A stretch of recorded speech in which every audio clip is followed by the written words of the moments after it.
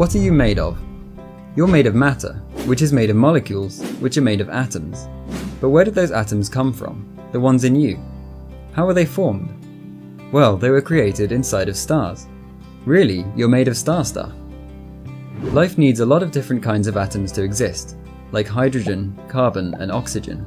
But when the universe began, there was only hydrogen and helium, the very, very simplest atoms of all, and nothing else.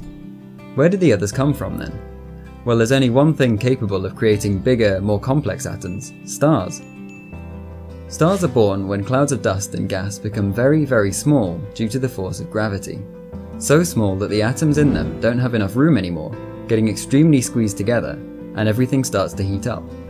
The temperature gets so incredibly high that the smaller and simpler atoms are transformed into bigger and more complex ones in a chain reaction called nuclear fusion.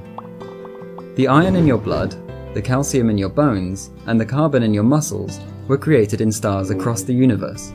Stars that died and left dust and gas full of the new elements to eventually form other stars, planets, and life. Our Sun is at least a second generation star, which means that all the atoms in the solar system were created in an older star. But how and where did those atoms form the molecules that ultimately became you and every other living thing that ever existed?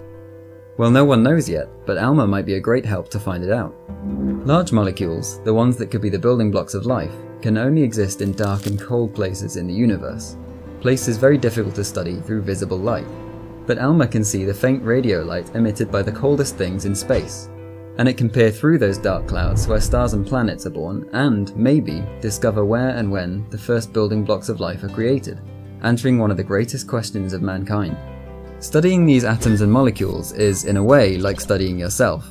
So next time you think astronomy is the study of things that are far away and unrelated to you, remember, we are all made of stardust.